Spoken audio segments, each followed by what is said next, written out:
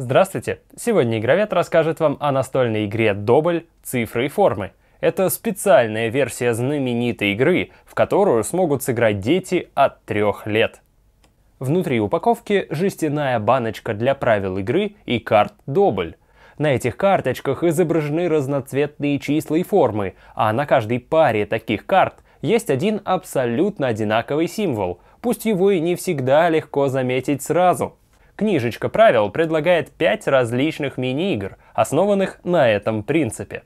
«Мальчик с пальчик» — это игра для одного, в которой нужно открывать верхнюю карту из стопки и искать соответствие на ней с первой карточкой в ряду. Как только оно найдено, карточка закрывается, и игра переходит к следующей. Гусеница – это игра, в которой игроки по команде открывают по карте из своих стопок и ищут совпадение с картой в центре стола – кто первым нашел, тот помещает свою карту в хвост гусеницы. Следующее совпадение игроки будут искать с ней, а кто первым ото всех своих карт избавился, тот и победил.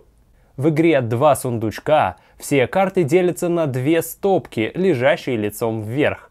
По команде игроки ищут совпадения на двух верхних картах. Кто нашел, тот забирает одну карту себе в качестве победного очка – если одна стопка закончится, разделите вторую стопку пополам и продолжайте, а когда на столе не останется карт, игра подойдет к концу. Кто больше очков заработал, тот и победил.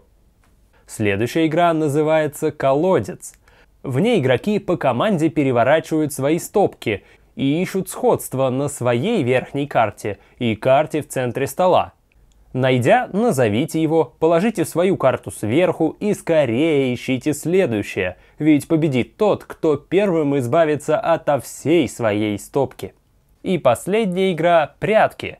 Перед каждым игроком лежит несколько открытых карт и одна в центре стола.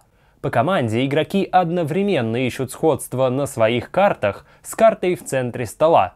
Найдя и назвав его, переверните свою карту – кто первым сумеет закрыть их все, тот и победит.